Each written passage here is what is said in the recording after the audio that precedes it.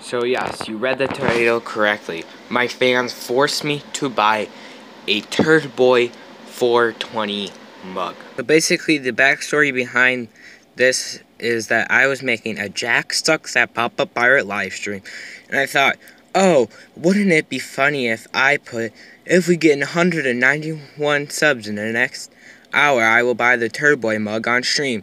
You know, I thought nothing of it, because, you know, 191 subs. I was at 181. And, well, I made a mistake. My goodness, why would I do this? So, a week later, I got this.